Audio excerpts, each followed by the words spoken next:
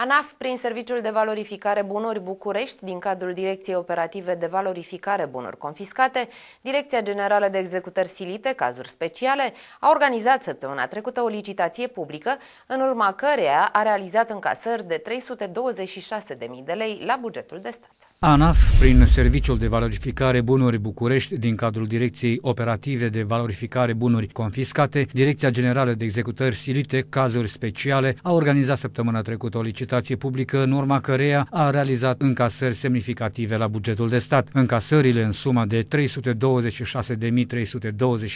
lei au fost realizate prin valorificarea unui grup de obiecte metale și sau pietre prețioase compus din 136 de obiecte din aur. Valorificarea s-a desfășurat cu respectarea prevederilor legale privind aprobarea normelor metodologice de aplicare a ordonanței Guvernului cu numărul